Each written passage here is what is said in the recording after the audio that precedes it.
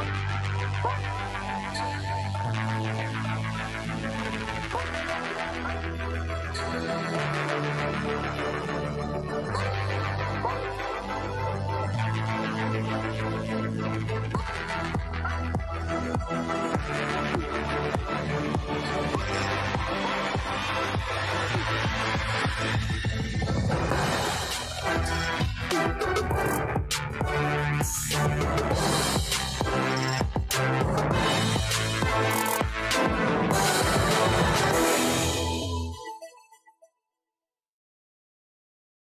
Poniedziałek, oczywiście nie. Wtorek, godzina 12, to jest ta zmiana. Mikołaj napisał do mnie w weekend, czy planujemy International Level we wtorek o 12. Stwierdziłem, nie wiem, bo zawsze robimy to w poniedziałek, ale faktycznie ten weekend był zdecydowanie dłuższy. Wszyscy pojedliśmy, wypoczęliśmy i tym samym widzimy się w tym programie, a dzisiaj przygotowaliśmy dla Was coś e, delikatnie innego niż w każdym kolejnym wydaniu International Level, żeby nie było za nudno, żebyście mogli podyskutować z nami i na czacie, i w komentarzach. Dominik Guziak, Eleven Dzień dobry. Sports i Mikołaj Kruk, Eleven Sports. Dzień dobry. Celowo dobrałem charakterolo- charakterologicznie gości dzisiaj mm, pod takich e, kłótliwych, pod takich, którzy szukają sensacji i przede wszystkim chcą ze sobą się trochę e, zetrzeć.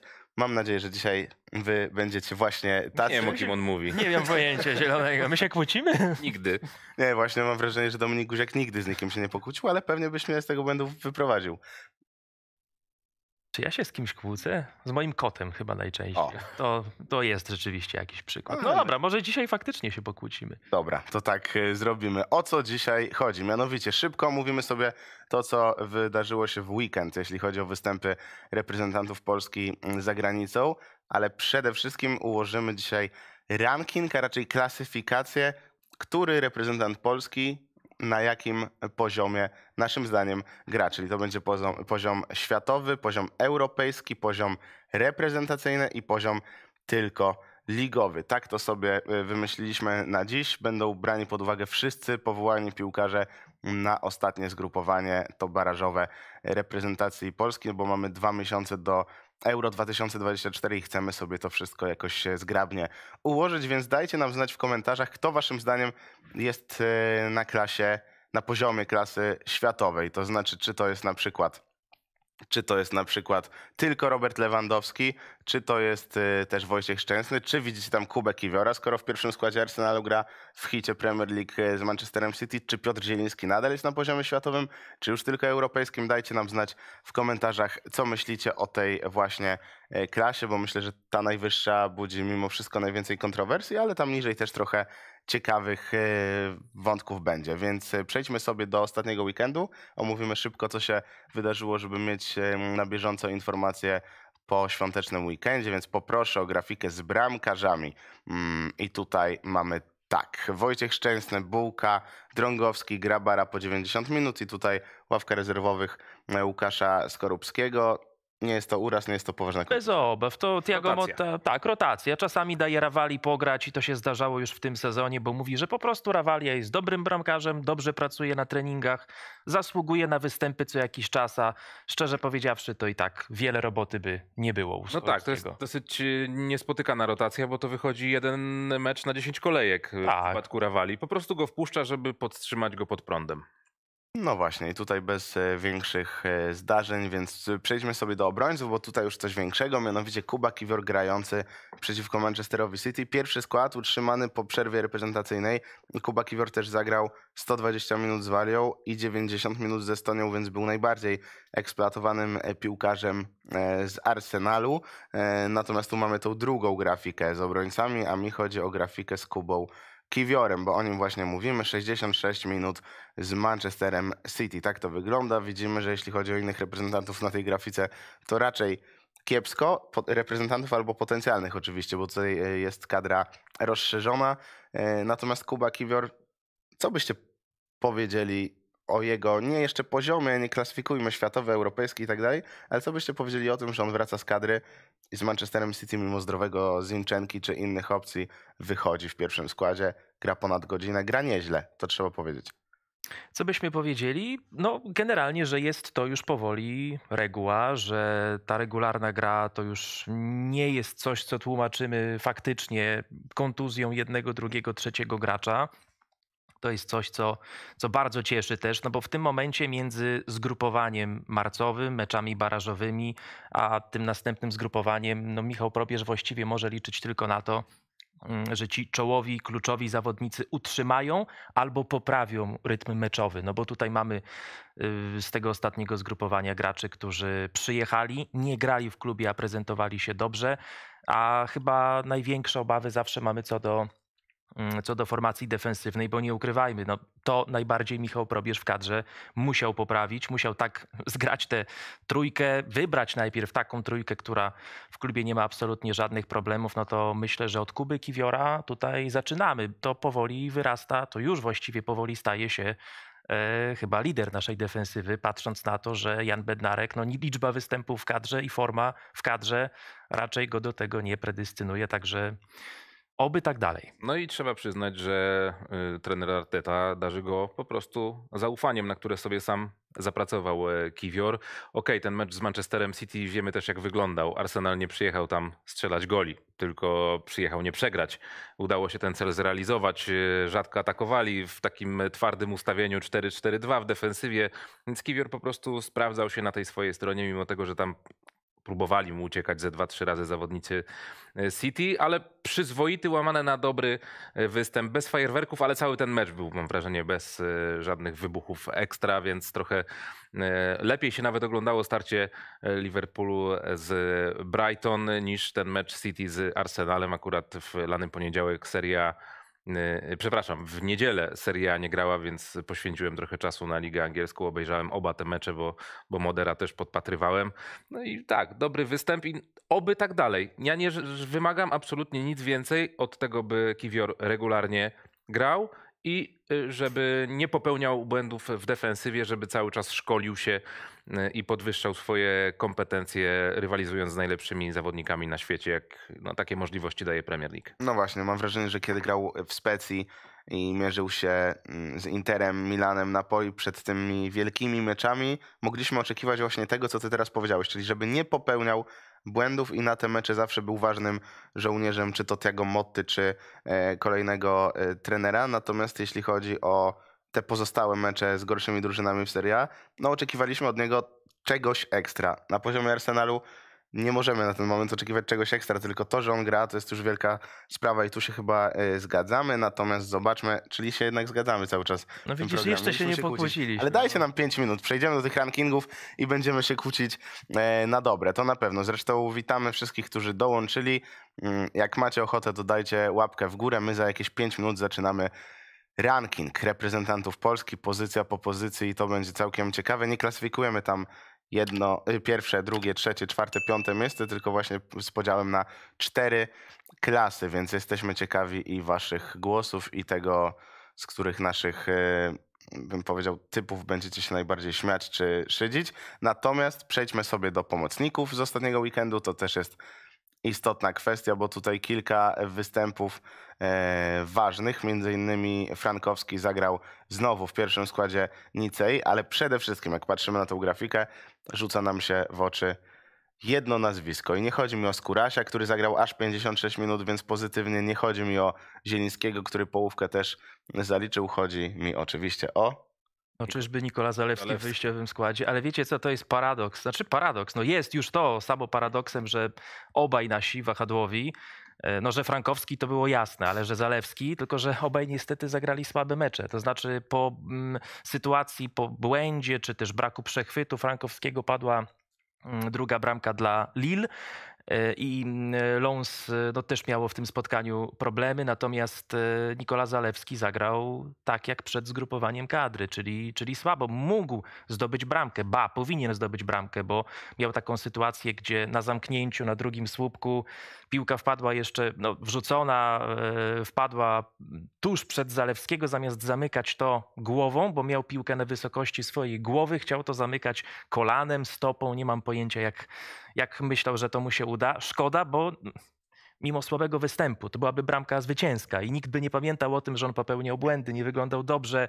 e, Liczyłaby się liczba po Słuchajcie, prostu. W przypadku Zalewskiego mamy taki paradoks, bo zazwyczaj jest tak, że narzekamy, że nasi reprezentanci lepiej grają w klubach niż w kadrze. U Zalewskiego jest odwrotnie. On gra lepiej w kadrze niż w klubie w ostatnim e, czasie. Potwierdziło to poprzednie zgrupowanie, e, to ostatnie razem z meczami barażowymi, bo faktycznie po zmianie też, e, jakie zmianach właściwie, jakie zaszły w Romie, to nie jest w dalszym ciągu e, ten zawodnik, który grał u Mourinho na wahadle. Wtedy on dawał dużo więcej swojemu zespołowi, tak jak w reprezentacji. A mm, ty powiedziałeś teraz ciekawą kwestię. Popełniał błędy, podejmował złe decyzje mm, w ostatni weekend w Romie. To zapytam, dlaczego waszym zdaniem? No bo ostatnio, kiedy grał przeciwko Estonii, okej, poziom niższy, ale potem przeciwko Walii podejmował często bardzo dobre decyzje i był bardzo pewny siebie w swoich działaniach, co przynosiło korzyści. To czemu w Romie nie? Parę dni później, kiedy dostał zaufanie, dostał pierwszy skład. Mam wrażenie, że właśnie y, pewność siebie, o której, którą też wymieniłeś, był pewny siebie w kadrze, tutaj przyjeżdża, wraca do, do, do Rzymu, y, próbuje łapać się jakichkolwiek argumentów, bo szczerze coraz dziwniej to wygląda. Inna pozycja. Inna pozycja, tak. Y, Wrócił na pozycję wcześniejszą. No, José Mourinho musiał przyzwyczaić się do, do gry bardziej z tyłu, do częstszej pracy w defensywie. Długo czasu, dużo czasu to, to zajęło. Długo Mourinho lewe, prawe wahadło. Tak, lewe, lewe. lewe, Głównie lewe, tak. Głównie lewe, tak. I, i, I tutaj jakby długo zajęło mu mm, dopracowanie. Właściwie to był tak, trochę, taki trochę proces niedokończony, bo, bo były mecze, w których on w defensywie właśnie mm, dawał mniej, popełniał błędy, więcej dawał w grze z przodu, choć nie było w tym liczb. To też był problem, ale nie tylko Zalewskiego. W Romie generalnie piłkarze grający po bokach, e, wahadłowi mieli z tym duży problem ale często bardziej chwalono Zalewskiego za to, że go ciągnie do przodu, no a tutaj musi grać do przodu i to nie działa. I tutaj właśnie źle się czuję. No, trzy mecze w wyjściowym składzie u De Rossiego. To spotkanie mm, z Lecce, mecz z Brighton, mecz z Feyenoordem, gdzie też był ściągany oczywiście w każdym z wypadków e, przed końcem meczu, no to było widać różnicę kiedy wchodził za niego na przykład El Sharawi e, na niekorzyść Zalewskiego różnicę. To mnie cały czas zastanawia, czy e, w reprezentacji Polski ten, ta sfera mentalna, większy, odczuwalny kredyt zaufania od Michała Probierza robi aż taką różnicę, bo fakt, e, często wygląda Nikola Zalewski tak, jakby nie rozumiał się z kolegami, często tak było. Można to argumentować tym, że on, nie wiem, grając z przodu, nie gra tak często z tymi zawodnikami, nie ma tych obok siebie, których miał wcześniej, grając trochę niżej, ale z drugiej strony to nie argument, no bo to są ciągle piłkarze Romy, to są ciągle gracze, z którymi on rozumieć się powinien idealnie, więc y, albo sfera mentalna, albo trafił akurat też, no niestety, na mecz, w którym Romie po prostu nie szło. Najsłabszy mecz Romy za De Rossiego to był. I, I to też nie pomaga, bo gdyby to było takie spotkanie, jak zagrali, nie wiem, z Cagliari na przykład, mecz, w którym zdobywają dwie, trzy, cztery bramki, jest ta gra do przodu, to wszystko płynie, no to myślę, że byłoby trochę inaczej. A tutaj był akurat mecz... Narwańcami z Lecze grali po prostu. To Tak. bardzo dużo biegają, jest w tym tyle chaosu, że nawet najlepiej zorganizowany zespół na Via del Mare potrafi się nie odnaleźć przez 90 minut i kończy się to remisem. Tam remisowały y, większe zespoły niż Roma nawet w tym sezonie Serie A, więc to jest ten e, case też dodatkowy w przypadku tego meczu. Ale faktycznie Zalewski może mieć gdzieś z tyłu głowy, że nie jest Uderessiego pierwszym wyborem, że jest tylko zawodnikiem raczej w opcji niż z podstawy. No, może to wpływać na jego pewność siebie, podejmowane e, decyzje. Oby to się jeszcze zmieniło e, do końca tego sezonu, bo wiemy, jak będziemy e, potrzebować Zalewskiego na euro, czyli przede wszystkim zdrowie i, i tych minut, żeby nałapał jak najwięcej. Wątpię, żeby łapał je na tej pozycji, na której gra w kadrze, no bo Roma już tak niestety nie gra. I tu na pewno będzie problem. Zobaczmy sobie jeszcze raz e, pomocników zestawienie, dlatego że chciałbym dwa słowa o Kubie Moderze. Wspomniałeś o nim delikatnie, ale oglądałeś ten mecz z Brighton e, z Liverpoolem, a tam byliśmy bodźcowani. Dzień przed meczem bodajże, czy dwa dni przed meczem Tomasz Wodarczyk podaje, że Moder najprawdopodobniej w pierwszym składzie na Liverpool.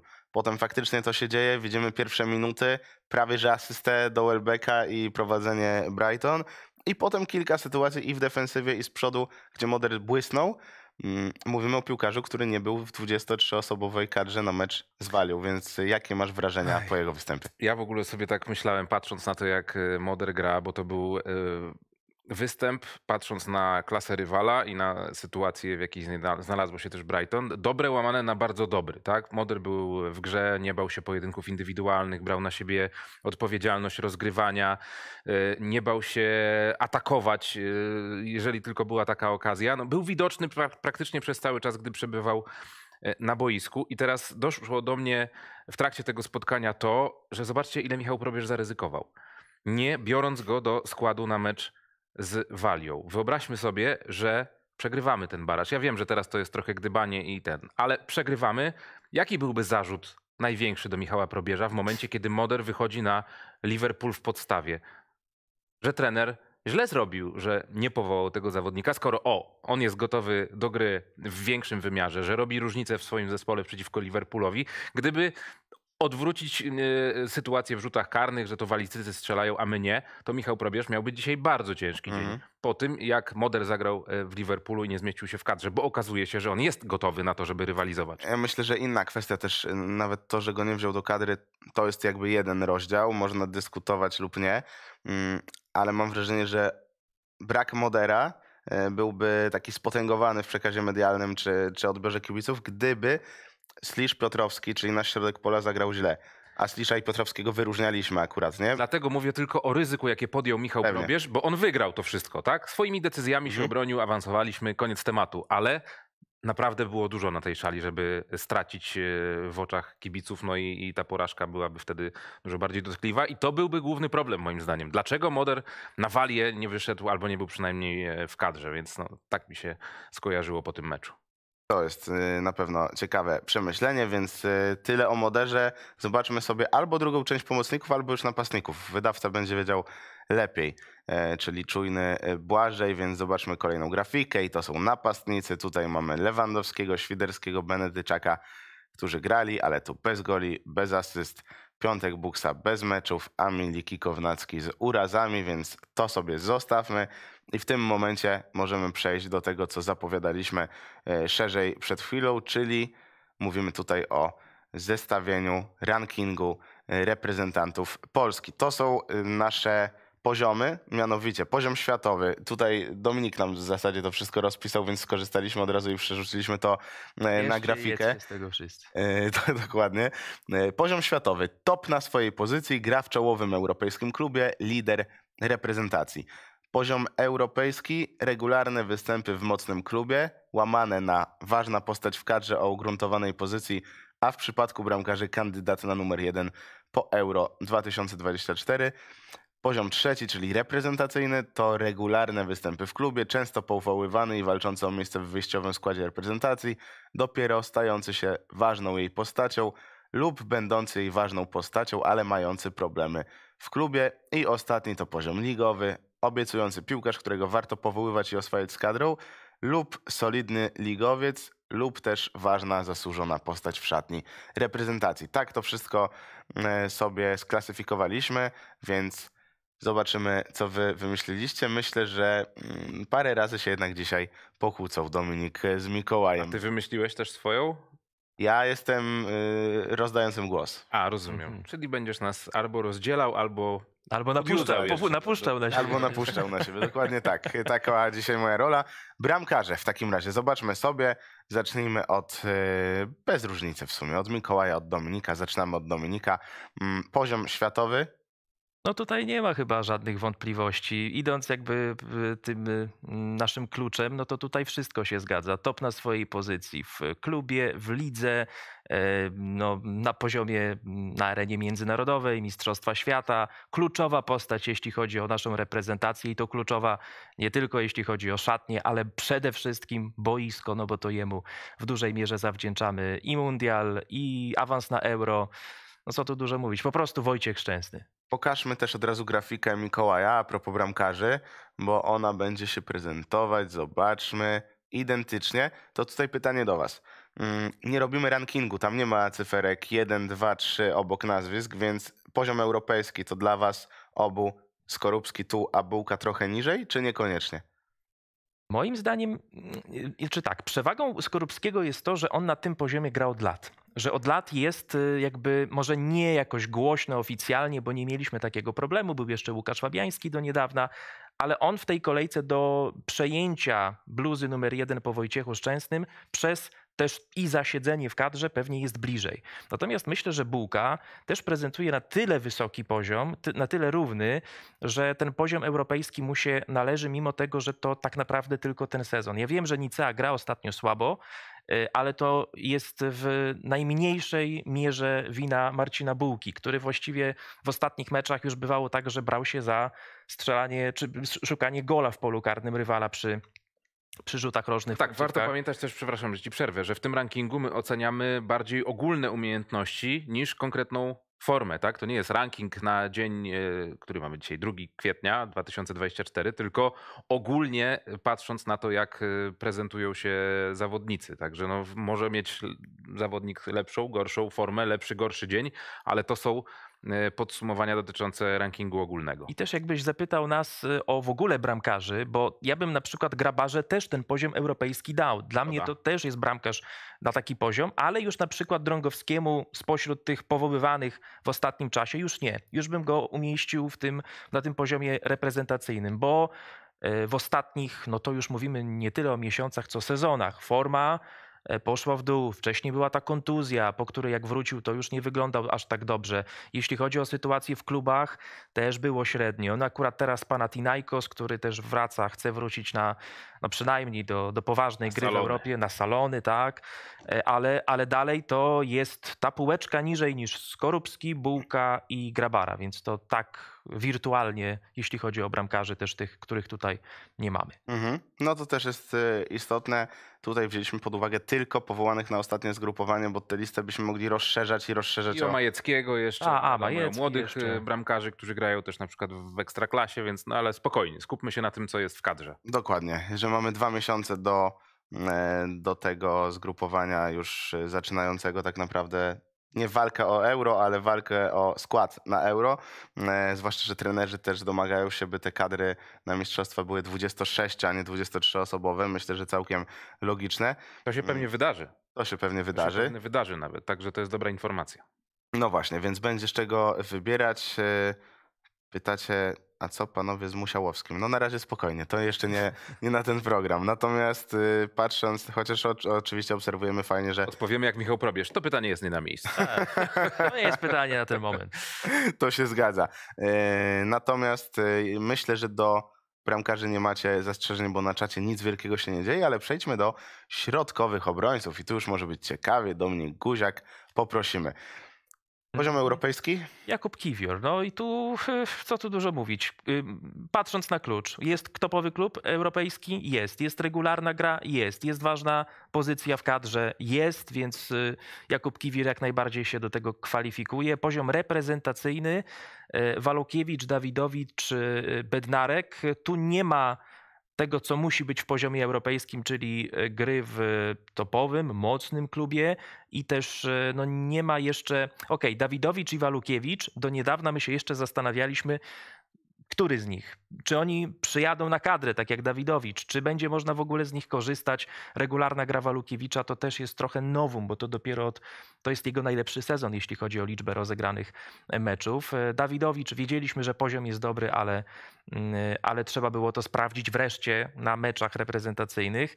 E, Bednarek, no nie topowy klub, nie mocny i też w tej reprezentacji problemy są, choć Oczywiście jest on postacią, która no, ma bardzo dużą liczbę meczów. Poziom ligowy. Y, tutaj to musi być solidny ligowiec, tak jak w tym naszym kluczu. Y, I solidny ligowiec, jeśli chodzi o ekstraklasę, to bym też dodał wyróżniający się ligowiec, bo Bartosz Salamon na pewno takim jest. Bochniewicz jest solidnym ligowcem w Holandii. Herenwein też defensywnych statystyk nie ma tak dobrych, żeby uznać Bochniewicza za ważny element mocnej defensywy z mocnej Ligi Europy. A Herenwein, jeśli dobrze pamiętam, spojrzałem, tych bramek ma sporo straconych. To jest chyba dziewiąte miejsce w tym momencie w Eredivisie. Jest regularna gra, oczywiście, ale to jest dalej solidny holenderski poziom ligowy, a nie poziom, nie wiem, Pawła Dawidowicza, który jest najważniejszy w defensywie e, Ellasu, czy Walukiewicz, który, czy Bednarek, którzy w tej, no Bednarek w tej reprezentacji też jednak ważniejszą rolę odgrywa. O. Ja wyszedłem trochę z takiego klucza, że poziom reprezentacyjny y, należy się każdemu zawodnikowi, który jest w tej reprezentacji. Tak przynajmniej wydawałoby się też z definicji, ale faktycznie miałem problem y, przy jednym nazwisku, przy Bochniewiczu właśnie, bo y, u mnie poziom europejski, podobnie jak u Dominika, to jest Jakub Kiwior, który ma, wydaje mi się, mm, najwięcej umiejętności ze wszystkich naszych obrońców, patrząc nie tylko na to, jak broni, ale na to też, co Jak może gra w piłkę. do przodu, jak Mhm. gra w piłkę, jakie ma umiejętności techniczne, że mu piłka nie odskakuje przy przyjęciu jak y, koledze Bednarkowi, że ma dużo pewniejsze rozegranie niż Dawidowicz, który niestety y, popełnia błędy w, w tym elemencie gry i to właściwie zdarza mu się co mecz, na przykład w Serie A, gdy się za to bierze, bo tak było w tym e, spotkaniu e, wczorajszym, tak? Wczoraj grało Verona z Cagliari, tak było w meczu z Milanem, po którym Milan strzelił gola, więc to są takie rzeczy, które na to wpływają. E, Walukiewicz też jeszcze nie, bo pamiętajmy, że to może być rzecz płynna. Wydaje mi się, że z tych wszystkich zawodników Walukiewicz ma najbliżej do poziomu europejskiego. Pytanie tylko, czy on zrobi kolejny krok do przodu. W przypadku Dawidowicza i Walukiewicza przez lata my żeśmy tych zawodników wymieniali jako potencjalnych reprezentantów. I jeden i drugi mieli poważne problemy ze zdrowiem. Wiedząc, jakie mają umiejętności, chcielibyśmy ich regularnie w kadrze. To się teraz dzieje. Natomiast tutaj największy potencjał widzę w Walukiewiczu, który może zrobić jeszcze jakiś e, postęp.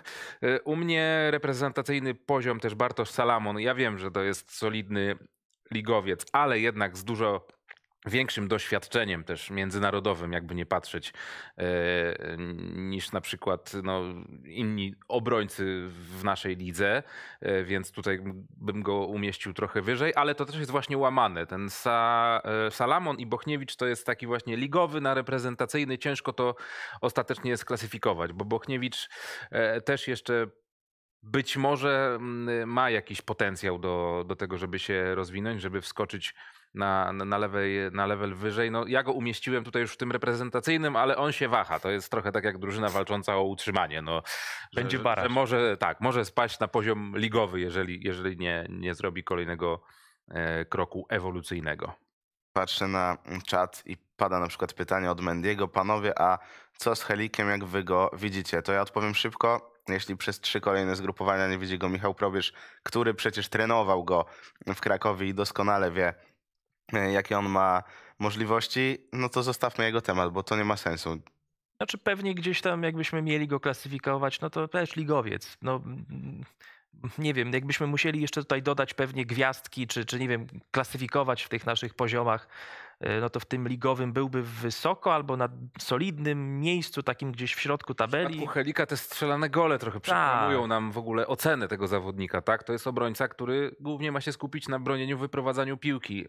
Fajnie, że on potrafi wykorzystać swoje atuty w polu karnym rywala, ale no, oceniamy jednak obrońców. Dokładnie to samo moglibyśmy zrobić z Patrykiem Pedą, który powiedzmy, że w tej szerokiej liście kadrowej probierza y, gdzieś tam się y, znajduje i to też by był ligowiec. No jednak liga, w której gra jak gra jego drużyna i jak on gra w tej lidze, w jakiś sposób no, to samo się przez się rozumie i umiejscawia go w tym miejscu. A też nie chodzi w tym e, zestawianiu klas e, światowej, europejskiej, reprezentacy- reprezentacyjnej i ligowej, żeby szukać 70-80 nazwisk, które Michał Probierz przecież obserwuje, bo my nie mm, jesteśmy w żaden sposób omnibusami i nie oglądamy meczów 80 piłkarzy e, w weekend, jeśli chodzi o reprezentantów Polski stricte, bo myślę, że 80 łącznie to byśmy uzbierali e, piłkarzy, których w weekend widzimy. Myślę, że nawet więcej. Natomiast przechodzimy do wahadeł i tu jestem bardzo ciekawy waszego zdania. Jedno zastrzeżenie, mm, nie ma na tej liście Kamila Grosickiego, ani u Dominika, ani u Mikołaja, bo jego przerzuciliśmy do po prostu pomocników e, Znaczy, no, z, z racji tak- tego, jak w kadrze może grać. No, na wahadle go pewnie Michał Probierz nie widzi, ale to na razie Grosika zostawmy. Natomiast poziom europejski u Dominika Guziaka to Frankowski i Kasz, poziom reprezentacyjny to Nikola Zalewski, a poziom ligowy Puchacz, Bereszyński, Marczuk, Wszołek. Słuchamy. Co do poziomu europejskiego frankowskiego nie miałem żadnych wątpliwości. Regularne występy w mocnym klubie, no bo Liga Mistrzów i on tam też ważną rolę odgrywał. Ważna postać w kadrze o ugruntowanej pozycji, zgadza się. E, też, e, więc tutaj Franek e, zero wątpliwości. Mati Kasz, tutaj miałem pewne wątpliwości, bo z tą reprezentacją u Matiego Kasza jest kłopot, bo tych meczów ostatnio było mało, jak już były to, też były to występy przykrótkie, niezbyt dobre. Czyli twoje wątpliwości polegały na tym, żeby jego wrzucić poziom niżej ewentualnie. Poziom, ale właśnie nie mogę, też sobie zadałem to pytanie, no to co, Matego Kasza wyrzucam z poziomu europejskiego, piłkarza Aston Villa, będącej w tym momencie na czwartym miejscu w Premier League, grającego tam regularnie i zrzucę go do poziomu reprezentacyjnego, w którym siedzi sobie Nikola Zalewski, który z kolei w klubie regularnie nie gra. Gra dobrze w reprezentacji, ale to były też jak no, weźmiemy suche liczby, cztery ostatnie spotkania. Ważne, ale jednak tylko, e, tylko cztery, a Mati Kasz no jednak reprezentacji nie daje jeszcze tego, co mógłby dawać patrząc na jego występy w klubie, więc tu powiedzmy tuż nad strefą spadkową w, tej, w tym poziomie europejskim, no ale mimo wszystko musiał tam moim zdaniem się znaleźć. Nikola Zalewski z kolei poziom reprezentacyjny przez to, że te problemy w klubie to też nie jest nowum, no bo to jednak trwa już od ładnych paru miesięcy. To też no, był kłopot, który jeszcze pojawiał się u Jose Mourinho w, w tym sezonie. Yy, Więc jego zostawiam na poziomie reprezentacyjnym, bo w kadrze nie ma co do niego żadnych zarzutów. Yy, No reszta poziom ligowy. Puchacz, Bereszyński, Marczuk, Wszołek. Bereszyński poziom ligowy, mm, dlatego że na poziom reprezentacyjny, wiecie, on też był powołany, a nie zagrał. On też jest powoływany często dlatego, że zapewnia ci bezpieczeństwo na co najmniej kilku pozycjach, co najmniej na dwóch e, pozycjach na, na boisku. W lidze, w Serie A też Gdyby nie kontuzja Ismailiego, gdyby nie to, że nie ma Tresebuejego, to mam wątpliwości, czy by grał, bo nie grał, kiedy ci zawodnicy byli zdrowi i grali re regularnie, E, więc e, też tych meczów w kadrze ostatnio nie było dużo od mundialu, bodaj chyba tylko cztery występy.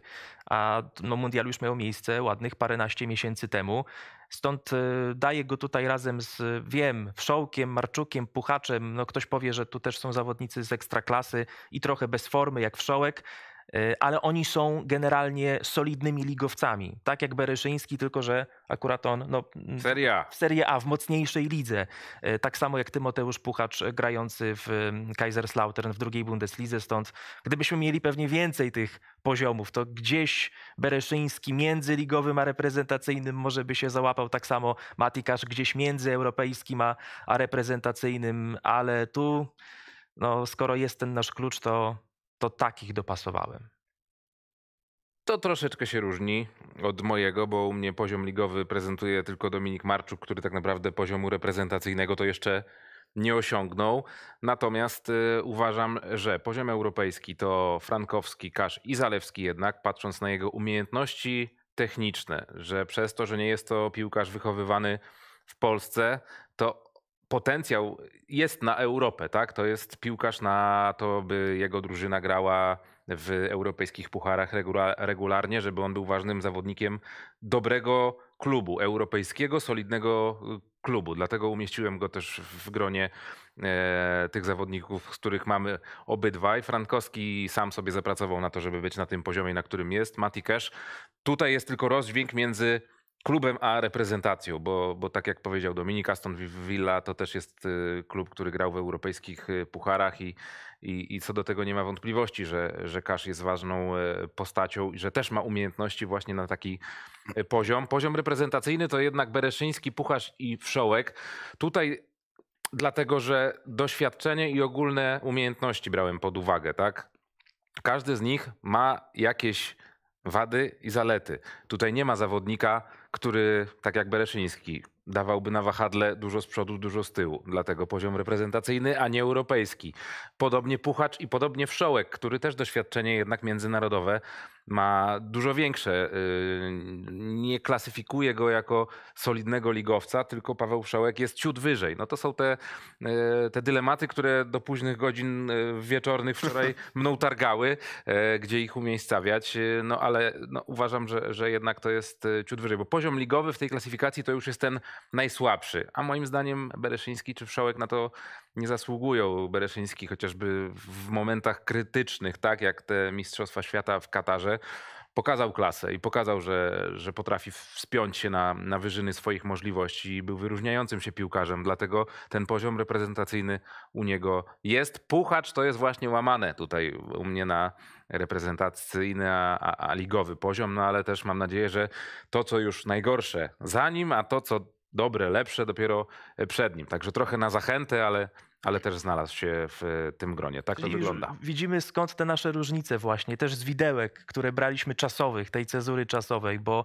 bo rzeczywiście Bartosz Bereszyński, patrząc na to, ile dawał kadrze, jak rozegrał mistrzostwo Jakie ma świata, doświadczenie? jakie ma doświadczenie, które też w Empoli procentuje, bo on choćby w meczu z Milanem wchodząc z ławki już zakontuzjowanego Ismailiego, wszedł, zagrał naprawdę dobrze, był chwalony za to, że szybko ubiera się, wchodzi i gra z, no w tym momencie... Miał to szczęście, że akurat w tym meczu nie grał Leao. No, Tak, to inna to- kwestia. to bo tak. Jego mecz przeciwko Leao, jak grał jeszcze w Sampdori. To nie No było to nie, to- to- miłego dla Absolutnie, to była wizyta u dentysty, rzeczywiście. A, a tu wszedł i jakby no, grając z wiceliderem już teraz tabeli, e, na tym doświadczeniu, i to zresztą ostatnio w tych meczach, gdzie grał w wyjściowym składzie, tak samo.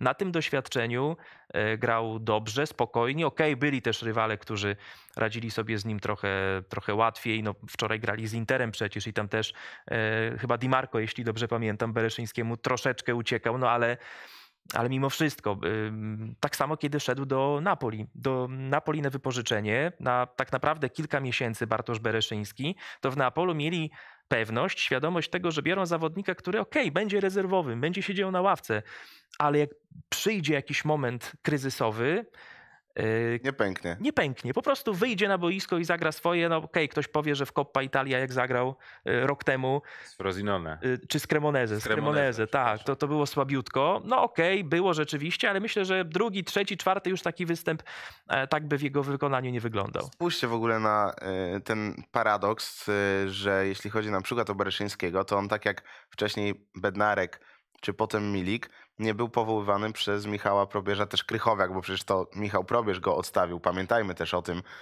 y, To zakończenie kariery repre- reprezentacyjnej wynikało z tego, że Michał Probierz zadzwonił do Grzegorza i powiedział Dziękuję. dziękuję, nie powołam cię niestety, e, ale możesz to zaprezentować tak, jakbyś ty chciał po prostu tę karierę teraz zakończyć. I tak się stało. Natomiast jeśli chodzi o Bereszyńskiego, jego też nie widział przez moment w tej reprezentacji, a już na tym zgrupowaniu, gdzie Bereszyński, chyba tu potwierdzicie, nie zbiera jakichś rewelacyjnych not y, w klubie, no to powiedział Michał Probierz, że na tym zgrupowaniu był bardzo istotnym elementem gotowym do gry Bartosz Bereszyński. Mówi to o zawodniku, który na Estonię był poza kadrą meczową, był na trybunach, natomiast w drugim meczu też w ogóle nie grał, ale był gotowy do tego, żeby faktycznie Michał Probierz z niego skorzystał i Michał Probierz sam z siebie podkreślił jego wartość w tej drużynie.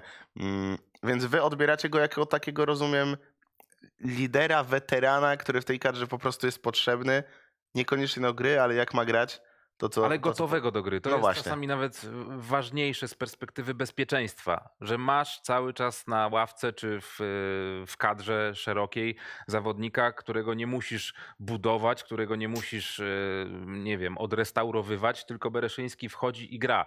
Nie popełnia błędów, e, daje gwarancję w defensywie, jeżeli trzeba zabezpieczyć tyły. Okej, w ofensywie nie jest porywający, nie jest zawodnikiem, który robi furorę na, na pozycji wahadłowego, ale daje jakieś gwarancje. Michał Probierz, zauważcie, że on bardzo często zwraca uwagę na takie rzeczy, które są pewne. Że on woli ograniczać ryzyko, właśnie stawiając na zawodników, których już zna i zna ich mocne i słabe strony. Są w, jak, w jakiś sposób przewidywalni, e, więc on działa w ten sposób. Tak? Tak- Taki Bereszyński daje mu bardzo dużo atutów pod kątem bezpieczeństwa, dlatego my też chyba e, tutaj uważamy, że, że, że Bereszyński to jest poziom reprezentacyjny w dalszym ciągu i oby, oby jeszcze przez jakiś czas był. No wiecie, na przykład na mundialu y, Czesław Michniewicz miał takiego gracza w postaci Artura Jędrzejczyka, którego znał z klubu. Tu sytuacja była inna, no bo Jędrzejczyk y, zagrał te, w tam kilka minut na mundialu po bardzo długiej, kilkuletniej przerwie i pojechał właściwie e, no jako taki zawodnik domykający tę te kadrę, jeśli chodzi o obrońców, no to jeżeli Bereszyński ma być właśnie takim graczem, którego probierz zna rzeczywiście, wie na co go stać, wie, że jak zabiera tego zawodnika, to jakby zabrał właściwie dwóch, jeśli chodzi o pozycję na boisku, jakby zagrał, zabrał też ważną postać dla mm, nawet szatni czy, czy samych treningów. No bo gracz, który mm, występuje już tyle lat na boiskach Serie A, który grał przeciwko całej plejadzie znakomitych napastników, no to jednak Pewien jest... poziom ci zapewnia Tak. w treningu i na co dzień i potem ewentualnie w dniu meczowym. Nawet jeżeli nie gra regularnie w klubie, bo to się może zmienić do, do Mistrzostw Europy, nie wiem, nagle okaże się, że wracają Ebuey, Smiley i, i znowu Bereszyński siedzi na ławce, no to on poniżej pewnego poziomu nie zejdzie. I takiego gracza rzeczywiście warto na, na Zobaczcie, ile o Mistrzostwa nim Europy rozmawiamy. Nie rozmawiamy tutaj o tym, czy Frankowski, czy Kasz, czy Zalewski zasługują na poziom europejski, tylko właśnie o tych zawodnikach klasy średniej. Takie mamy realia, taki mamy klimat i tacy zawodnicy też są w kadrze potrzebni. Tak, poza tym no, ta walka o wyjazd na Mistrzostwa Europy, załóżmy, że to jest 26 nazwisk, tak jak rzeczywiście powinno być, to ta walka mm, to trwa właściwie o, no, w samolocie o, na, o ostatnie miejsca. 18, 19, nawet bardziej 20 do 26. Bo wydaje mi się, że mamy 24 piłkarzy na tej liście, bo jest Tak. Marczuk, ale jest też Wszołek, Tak. który był dowołany. Czyli rzeczywiście, no jakby mamy jeszcze jakieś miejsca, ktoś może się jeszcze wykluje, że tak powiem, do Mistrzostw Europy. Przez te dwa miesiące. Może jeszcze ktoś by tutaj, no też Może, może się- wrócić po Może prostu. ktoś jak wróci. Może ktoś wrócić. Tak, tak. Trzeba brać pod uwagę, że to jest jednak około 8-10 spotkań do rozegrania. Mogą się przytrafić kontuzje, ktoś nagle wypadnie z tego składu, o którym sobie tutaj rozmawiamy i będzie zupełnie inna rozmowa. To na pewno, to na pewno, bo przecież e, nie ma na przykład na naszej liście Kamila Grabary, a myślę, że wszyscy byśmy go dali też na poziomie europejskim, tak czy tak. E, Kończąc dyskusję o Bereszyńskim i o wahadłowych, Gimi pisze, Bereć poziom reprezentacyjny, niezależnie od formy i gry w klubie, w kadrze zawsze wejdzie i zrobi swoją robotę. I tu się możemy podpisać, a Daniel nam pisze, że Kasz przecież jest prawym obrońcą, a nie wahadłowym, ale drogi mm, Danielu, pamiętaj o tym, że reprezentacja Polski gra wahadłami, więc w kadrze jest wahadłowym, więc nie będziemy tutaj rozpisywać na prawych, lewych obrońców, defensywnych pomocników i tak dalej, bo to po prostu nie ma sensu i prowadzi do niczego. Natomiast pójdźmy dalej. Środkowi pomocnicy. I tutaj ta klasyfikacja bardzo, bardzo mnie ciekawi, bo szczerze nie pamiętam, jak e, to wszystko ułożyliście. Proszę bardzo. Poziom europejski u Dominika Guziaka. Zieliński i Sebastian Szymański. Reprezentacyjne to Piotrowski, Slisz, Damian Szymański i Kuba Moder. I poziom ligowy Taras Romanczuk i Kamil Grosicki. Tutaj podkreślę, Grosickiego już wrzuciliśmy do środkowych pomocników, do piłkarzy ofensywnych też, a niekoniecznie na wahadło, ale to nie jest aż tak istotne, tylko ten jego poziom jest bardziej istotny, jak go oceniacie. Więc y, czemu taka dwójka w poziomie europejskim? I Chcesz zapytać, czemu nie Zieliński wyżej? tak, No właśnie, no to poziom światowy, top na swojej pozycji. E, No myślę, że tu Zieliński by się w to wpasowywał. Gra w czołowym europejskim klubie. O, okej, uznajmy. Zdania są podzielone. Zdania są podzielone. E, Uczestnik Ligi Mistrzów w tym sezonie, e, lider reprezentacji, wszystko się zgadza. Natomiast e, czego brakuje? Brakuje w tym sezonie regularnych występów, bo ten sezon generalnie, wiecie, tutaj liczb nie ma tak naprawdę od września u Piotra Zielińskiego. To jest już na tyle długo. E, Jeszcze te problemy, całe zawirowania w, w Napoli, które go mocno dotknęły, to jest na tyle długo, że uważam, że ta grupa światowa jest na tyle sterylna, że Robert Lewandowski i Wojciech Szczęsny nie dają żadnych podstaw do tego, żeby mieć do nich jakieś e, wątpliwości. Piotr Zieliński jednak trochę ich e, tych wątpliwości dał, więc dałbym go w poczekalni między poziomem europejskim a, a, tym, a tym światowym. Mam nadzieję, że jak już będzie grał regularnie w Interze, to, to tak będzie.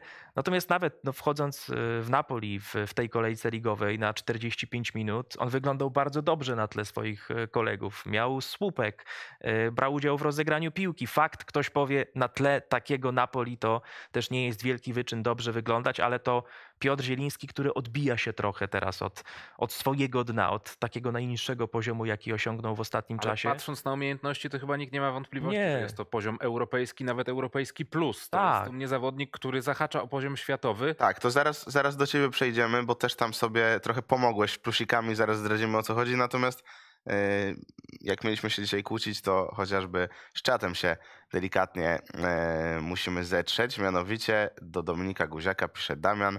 Damian Szymański na poziomie Modera. Ja pierniczę. No Tłumacz się. Wiesz co, tutaj no jakby za mało tych poziomów mamy, bo wiem, że Szymański na poziomie Modera to się gryzie, y, rzeczywiście, no to Modera byśmy tutaj dali między Moder Plus, no te plusiki rzeczywiście. Możesz jeszcze zmienić zdanie, Dominik, no i na przykład podwyższyć poziom Modera, patrząc ogólnie na jego umiejętności, bo ja przede wszystkim tym się kierowałem, nie na aktualną formę, kontuzji. Ja i właśnie tak bardziej tak dalej. tym, co dzieje się aktualnie z zawodnikiem, bardziej tym y, rzeczom aktualnym dawałem duże znaczenie, bo Jakub Moder zaraz awansuje na poziom europejski, o ile już właściwie tego nie zrobił, ale cały czas biorę pod uwagę to, że on dopiero wraca, czy wrócił już do regularnego grania, że ta przerwa była długa, że prawdziwego Jakuba Modera to my dopiero zaczynamy oglądać regularnie. No ten występ już ostatni przecież był naprawdę, naprawdę dobry. Jeżeli ta regularność dobrych,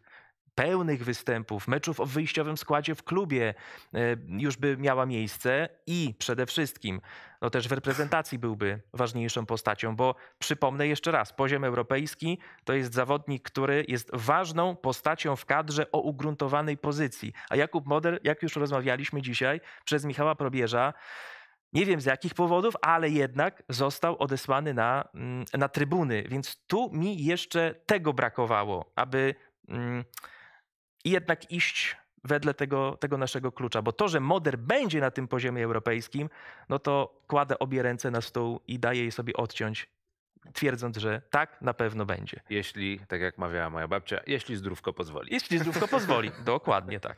Tu się y, wszystko zgadza. Zobaczmy, zobaczmy grafikę y, z głosami Mikołaja, bo jedna kwestia mnie bardzo ciekawi. O proszę, właśnie, czyli Rafał Talaga, który bardzo się piekli na czacie, bardzo krzyczy, żeby dawać Grosika wyżej, bo to wstyd dla nas jako meczyków, że był na poziomie ligowym u Dominika. Proszę bardzo, jest na poziomie reprezentacyjnym u Mikołaja, ale chyba i tak twoich oczekiwań nie jesteśmy w stanie, drogi Rafale, sprostać, bo piszesz, że Grosicki to poziom reprezentacyjny minimum, więc y, no, gdyby Grosik był na Tak. poziomie europejskim albo światowym, to już by było grubo, mocno, mocno, y, jeśli chodzi o te głosy y, Rafała, ale teraz oddaję ci głos, tłumacz się z plusów, ułatwiłeś sobie zadanie, ale też widzę tu pewną, może nie, że kontrowersję, ale ty dałeś, ale ciekawą kwestię, dałeś Modera na poziom europejski, a tylko poziom reprezentacyjny Sebastian Szymański. Tak uważam.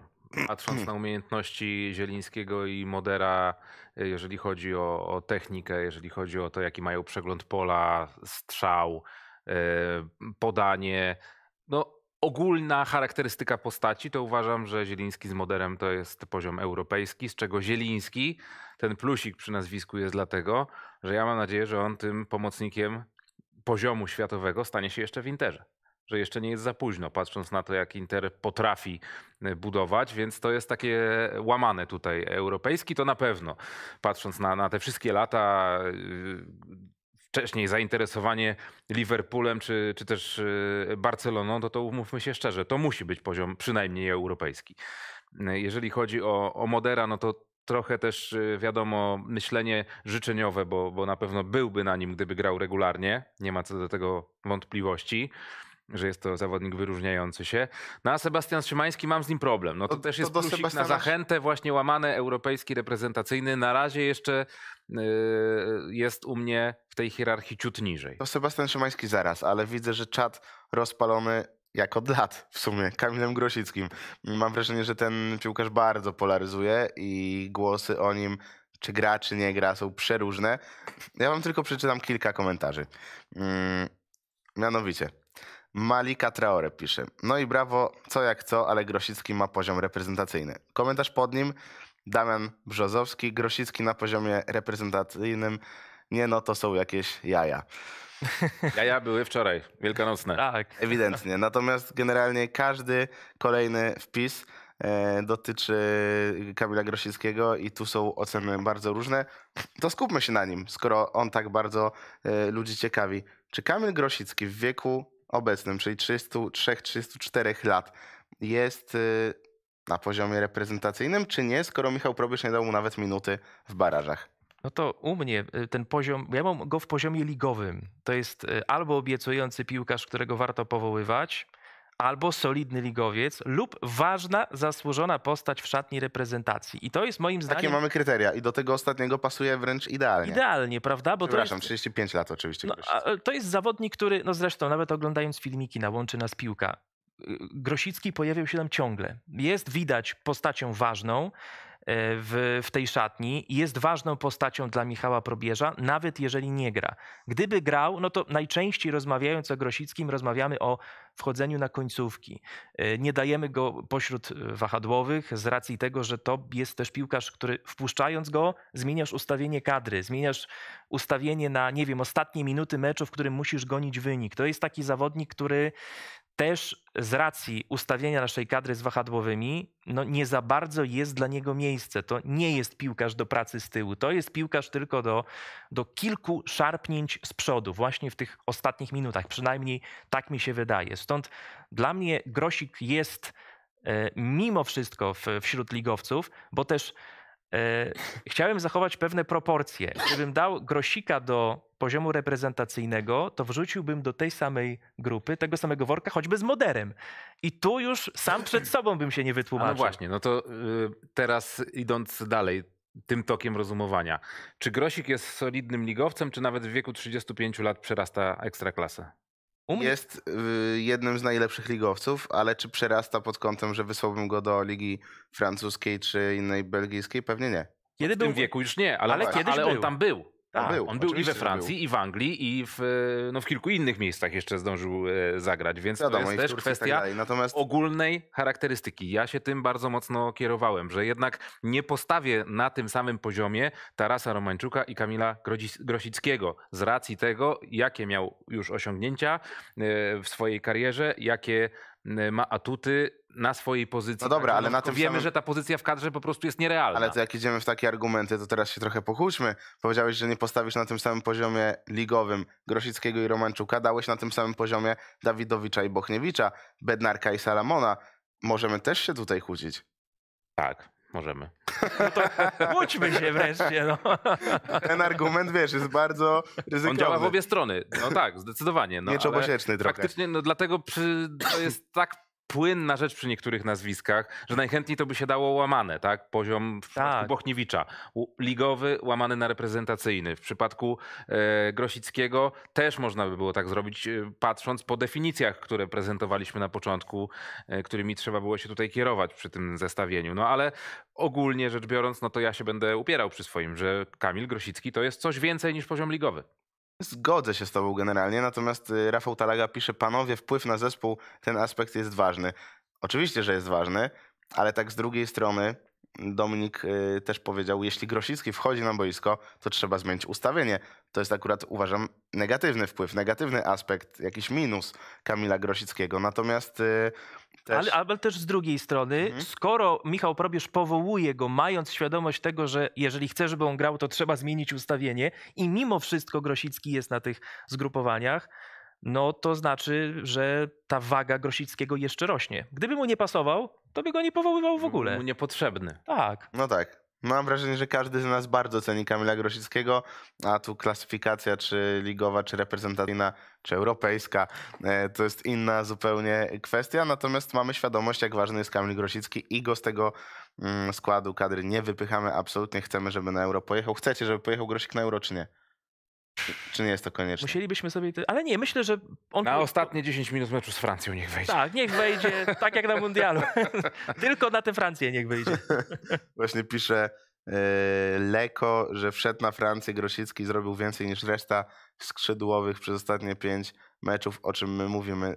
No zgadza się, ale my mówimy o 2022 roku. Mamy 2024, to też pamiętajmy, ale nie mówię, że forma Grosika spadła, bo on w pogoni mm, gra jak najbardziej albo solidnie, albo bardzo dobrze. To, to trzeba podkreślić. No dobra, to jeszcze zobaczmy sobie grafikę Mikołaja z pomocnikami, bo tam mieliśmy wrócić do wątku Sebastiana Szymańskiego chociażby. Ponad 30 meczów w reprezentacji. I dajesz go dlatego na poziomie reprezentacyjnym plus, a nie na poziomie europejskim, Mhm. bo pewnie jako piłkarza nie grającego w żadnej drużynie narodowej, jako zawodnika Fenerbahce, byś go wrzucił poziom wyżej. Ja chcę go zobaczyć w lidze top 5 i wtedy odpowiem ci na to pytanie ostatecznie. Bo na razie nie jest tak, że Szymański oczywiście robi postępy, widać cały czas, że jest to zawodnik rozwijający się, ale w dalszym ciągu jest gdzieś poza tym e, zbiorem topowym, tak? Czyli Liga życzę rosyjska mu udźwignął, Liga holenderska Turecka udźwignął, Liga Turecka dźwiga.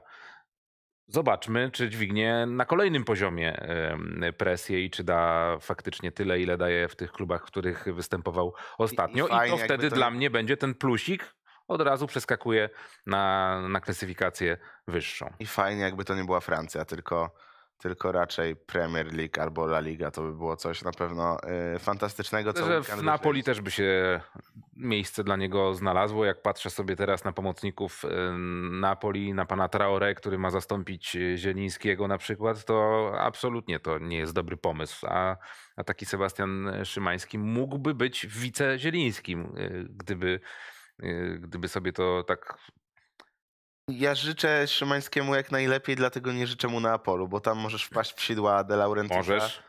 i robi się problem. Ciężko z nich później się wyplątać, patrząc na to, jak, jak, jakie męki przechodził Milik i, i jak jest traktowany w tym momencie Zieliński. No ale coś za coś. No Milik z Zielińskim też w tym Neapolu jednak wypłynęli. To nie jest tak, że to było permanentne cierpienie, tylko zbudowali swoją markę, grając właśnie w klubie z Neapolu. Ja ciągle mówię o Fiorentinie, że tam bym go bardzo chętnie widział. I dzisiaj nawet był artykuł w La Gazetcie, tam się szykuje duże wietrzenie szatni, była lista sześciu pewniaków do odejścia, pewnie tych piłkarzy będzie jeszcze więcej na wylocie, będzie mocne wietrzenie szatni, yy, więc yy, jeszcze jest Też ta Fiorentina to nie jest szczęśliwy klub, tak patrząc też y, z perspektywy Polaków, to tylko Tak. Tam I to y, jeszcze też sobie poradził. dopiero po kontuzji Tak, Freya, to tak, prawda. tak, Znaczy, tak, Atmosfera jest tam okej. Błaszczykowski, Rafał Wolski, Krzysiek Piątek, to też n- Ktoś nie musi to było przełamać jakichś w końcu. Ogólnie tak patrząc na Fiorentinę i na wydarzenia z ostatnich lat, to się wydaje, że to jest jakiś trochę przeklęty klub, ale może to jest moje jakieś tam e, złudne wyobrażenie. No, Prezydent klubu jest normalniejszy, więc może, może warto byłoby... Ale też nie do końca. ale też nie normalny. do końca normalny, tak, żeby tutaj... no, ale nie to malować- Włochy, więc Ka- Karol- może faktycznie lepiej ta Hiszpania. Karol Świderski grał w Grecji, wspomina ten czas świetnie, A. rewelacyjnie, ale też y, prezes klubu nie był do końca normalny, bo latał potem z pistoletem po murawie. Zresztą o czym mówimy, że życzymy Sebastianowi Szymańskiemu normalnego klubu z normalnym prezydentem, jak tam w Turcji właściciele klubów z pistoletami po boisku No tak. biegają, więc no dajmy spokój. On już swoje przeżył, myślę, że ma doświadczenie Nic go już z tego, nie jak, tak, jak, jak sobie Ostatnio nawet radzić w klubie na z nie do końca stabilną murawie władzą. I Baczułaj y, kopiący całkiem wysoko jednego z nich, ale nie trafił. Może i całe szczęście, nie wiem. W każdym razie zostawmy to, przejdźmy do ostatniej kategorii, czyli napastnicy i tutaj możemy pokazać Dominika Guziaka, ale jednocześnie możemy od razu dać grafikę Mikołaja Kruka, ponieważ na poziomie światowym obaj widzicie Lewandowskiego, a poziom reprezentacyjny to Świderski, Piątek i Buksa, więc niezależnie która z tych grafik pozostanie, to możecie się odnosić obaj. No, Poziom światowy Lewandowski, który ma 35, 6 lat. 88 rocznik, tak. 36 lat rocznikowo. Nadal poziom światowy.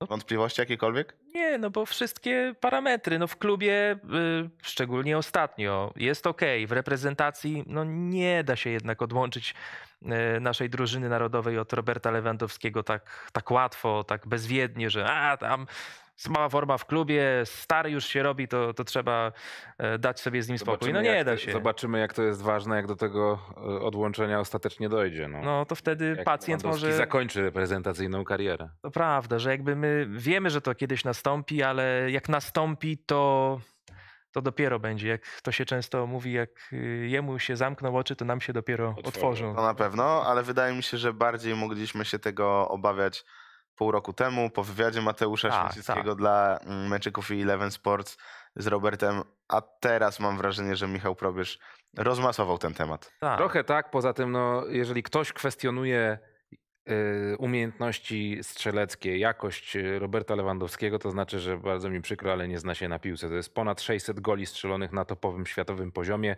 od 14 lat.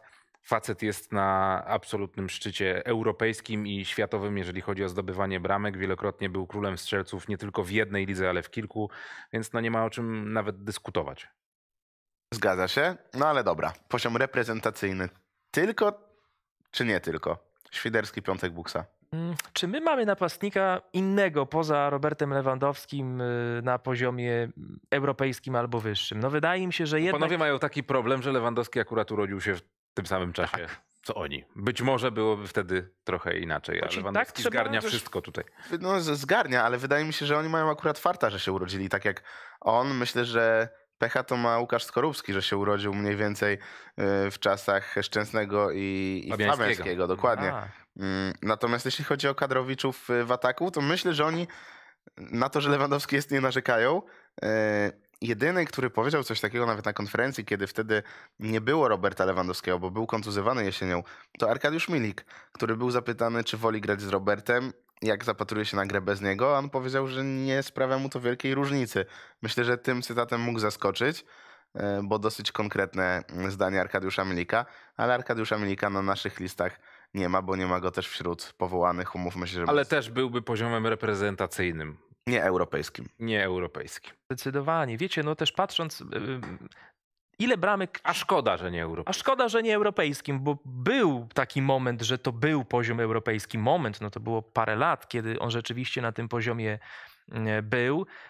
Świderski, Piątek i Buksa, tak szybko licząc, oni mają razem w reprezentacji, myślę, ponad 25 goli. Na pewno, bo Świderski, Piątek, dwucyfrówka, Buksa ma tych goli chyba 5, Pięć na pewno ma. 5 ma, czyli tu na pewno jest powyżej 25. Świderski 11, Piątek 10, czy odwrotnie, już nie pamiętam. W każdym razie 25 goli ponad tej trójki, mimo tego, że wszyscy nie mają jakiegoś długiego doświadczenia wieloletniego w kadrze, najdłuższe to tutaj ma Krzysztof Piątek, a i tak to, to jest no, 30 Dosyć krótka przygoda. Dosyć tak. krótka przygoda. E, Przy Robercie Lewandowskim, który gra ciągle, nie wypada, gra regularnie także w reprezentacji, to mimo wszystko są naprawdę w reprezentacji, jako że to jest poziom kadry dobry, e, solidny poziom, lepszy na pewno w ostatnich latach ni- ni- niż Milik, no bo Milik jednak e, tę regułę jednego gola na rok podtrzymywał i nie przeskakiwał jej w ostatnich latach. E, Jedyne co, czym jest, co jest problemem, no Krzysztof Piątek w klubie, ok, sytuacja się unormowała, poprawiła bardzo w ostatnich miesiącach, mimo że może nie jest ostatnio tak skuteczny. Jego wejście dobre z Walią, to też bym Tak. podkreślił. Prędzej się spodziewaliśmy Buksy nawet w pierwszym składzie, on w końcu nie zagrał. Piątek wchodzi z ławki, wyglądało to bardzo solidnie. Jeszcze dopowiem do tego, co wspominałeś o statystykach ich e, w kadrze. Piątek 28 meczów, 11 goli. Świderski 30 meczów, 10 goli.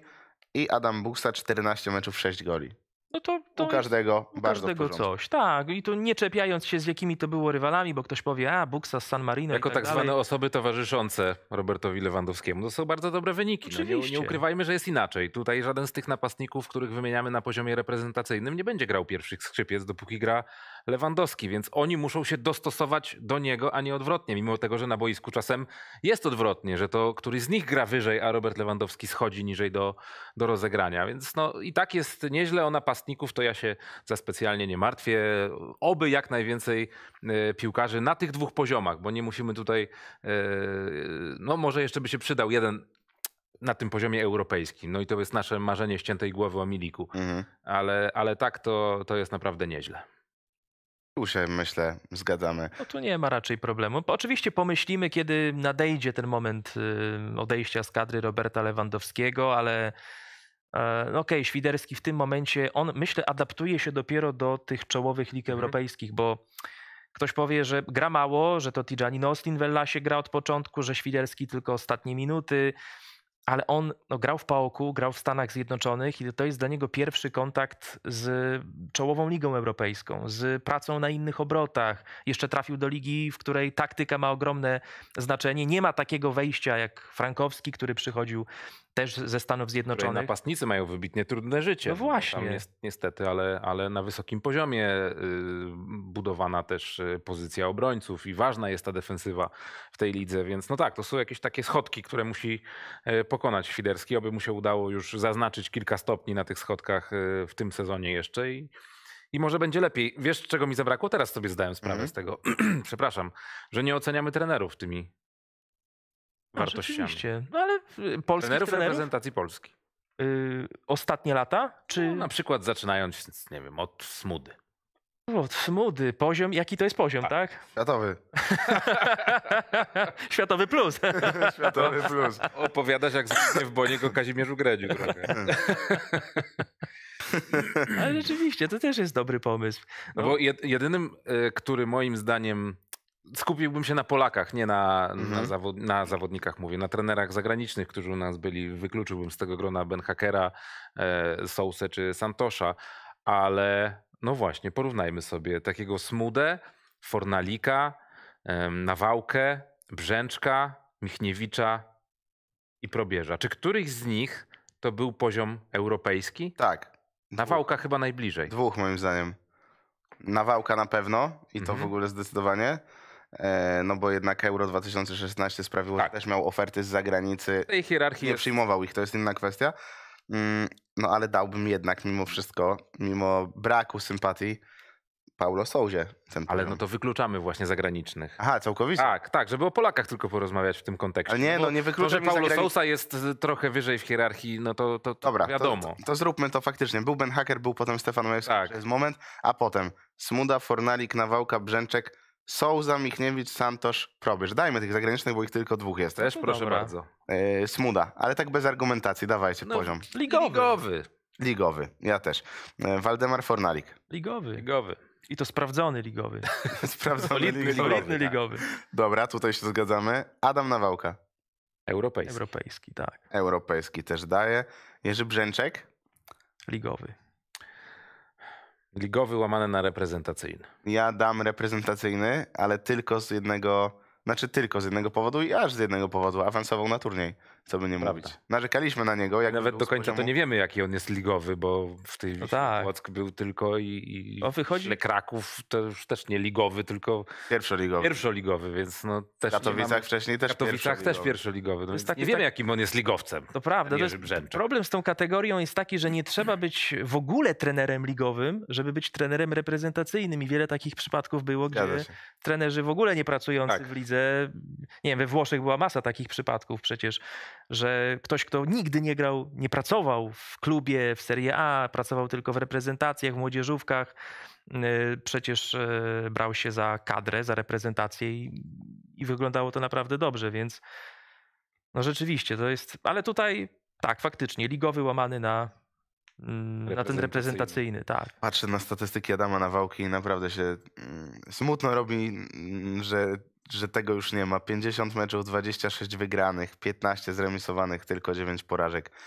9 porażek miał też Franciszek Smuda, 7 Jerzy Brzęczek, a mówimy tu o zupełnie innej liczbie e, meczów rozegranych. Natomiast dobra, lecimy dalej. Paulo Souza, poziom Europejski. Europejski. też daje europejski. Czesław Michniewicz, o proszę. Bardzo jestem ciekawy, co powiecie. Najprościej powiedzieć reprezentacyjny. Tak, no i właśnie pytanie, jaki odcień tego reprezentacyjnego, no bo co by nie mówić, wyniki? Tak, były, był wynik, okej.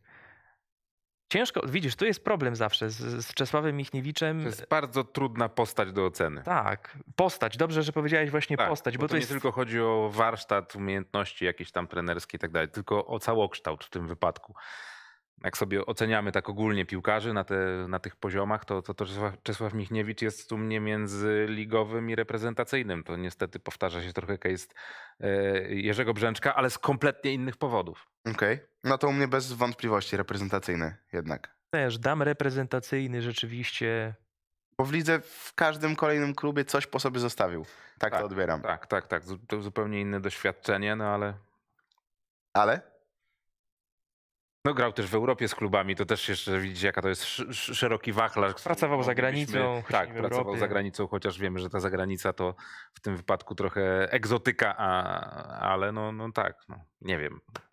Nie wiem, czy, czy, czy jakiegokolwiek trenera z, z XXI wieku y, polskiego byśmy dali na poziomie europejskim obok Nawałki. No Ben Hakera chyba, prawda?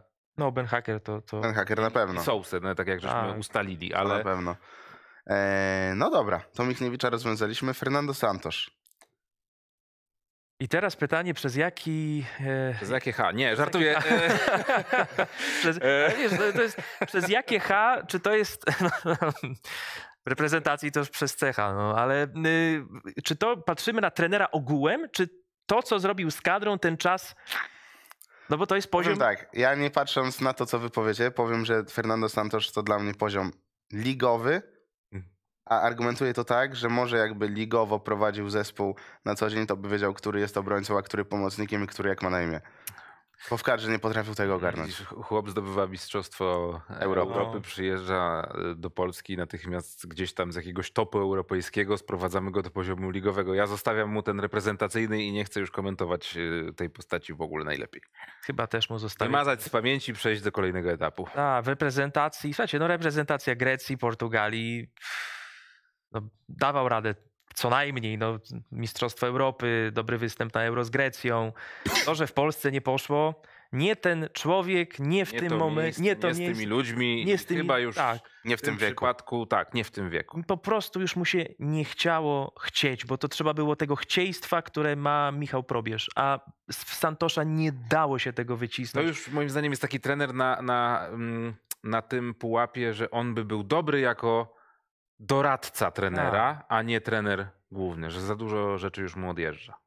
I Dyrektor, wiecie, Leo Mentor. Wiecie, mentor. dorad, doradca naprawdę nie musi tyle zarabiać, bo Michał Probierz zadzwoni do Adama Nawałki i myślę, że on mu opowie całkiem sporo totalnie za darmo. Prawda. Pójdą na kawkę po prostu. Pójdą na kawkę, pójdą na obiad czy na kolację. Natomiast Wiecie, o Leo Santos, tak, takie pozycje, posady miał y, choćby w Trinidadzie i Tobago. Oczywiście prowadził ich na mundialu w 2006 roku, ale potem po latach, a to był już Leo Benhaker grubo po 70, y, pracował tam po prostu jako technical advisor, taki doradca trenerów, selekcjonerów, federacji, gdzieś człowiek, który... mm, Ma doświadczenie. ma doświadczenie, nie miesza się bezpośrednio do pracy selekcjonera, ale warto go o coś zapytać. I Mhm. może w takiej roli Fernando Santos może rzeczywiście coś Tego mu jeszcze życzymy, żeby był Tak. komuś potrzebny i nie skończyła się jego przygoda tak jak z reprezentacją Polski, chociaż z tego co wiem, to w nowym klubie też jest so-so jak na razie. No nie są zachwyceni specjalnie. Nie wiem dlaczego.